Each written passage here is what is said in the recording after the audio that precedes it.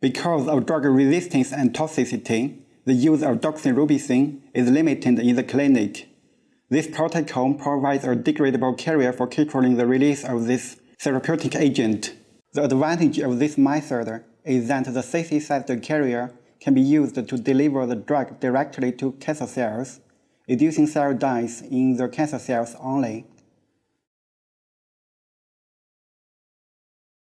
For CT-PEG synthesis, first add 1.46 grams of succinic anhydride and 209 milligrams of 4-dimethylaminopyridine to a 100 milliliter round bottom flask.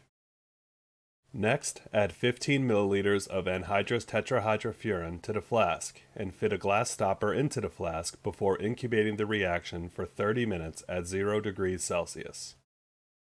During the incubation, add 4.2.8 grams of PEG, 1.8 milliliters of triethylamine, and 15 milliliters of anhydrous tetrahydrofuran to a new flask and close the flask with a glass stopper.